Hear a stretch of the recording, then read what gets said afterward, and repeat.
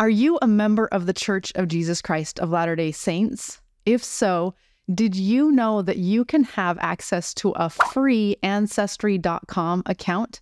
Not only that, but you have free access to multiple other family history sites such as MyHeritage, Find My Past, and several others. Today, I'll walk you through how to set up partner access with Ancestry.com. The other family history sites will have a similar setup process. Let's go ahead and get started.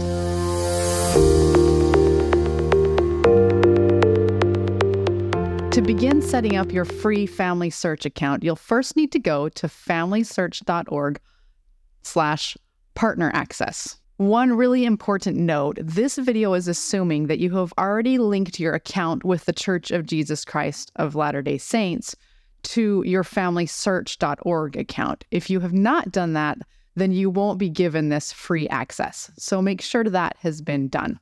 Okay, so I want to set up an account with Ancestry.com. So I'm going to come down here in the Ancestry box and click on Join for free.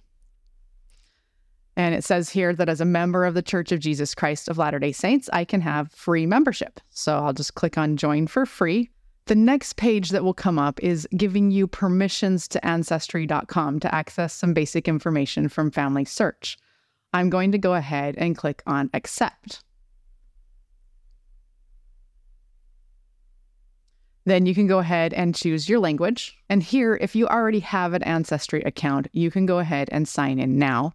Or if you are not a member, you can go ahead and sign up for a free account. So I'll click sign up now and sign up with email. Once I've gone ahead and filled out the sign up information, I'll click on create account. And then on this next page, I'll go ahead and click that I understand I'm accepting the membership shown above and click start your membership. And it's as simple as that. Now I have an Ancestry.com account set up. I can go here and click on Start Your Family Tree and begin creating a tree on Ancestry.com. You can go ahead and import your tree from Family Search as you begin your tree on Ancestry.com, or you can start fresh and not import your tree, however you want to work it. But Ancestry.com has lots of additional great tools for researching your more about your ancestors. Okay, if I go back up here and go to this partner access again, I can see there are other websites I can sign up for free accounts as well. And it's a very similar process. There's MyHeritage, Find My Past,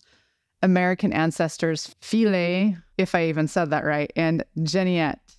I don't even know if I said that one right either. But there are some great resources that you can go ahead and get free accounts for if you are a member of the Church of Jesus Christ of Latter day Saints. Great. Now that you know how to set up your own free Ancestry.com account, go ahead and get it set up and start researching more about your ancestors. If you enjoyed this video, be sure to hit the like button below. And if you haven't yet subscribed to Gospel Mom Tech, go ahead and do it now so you don't miss future videos.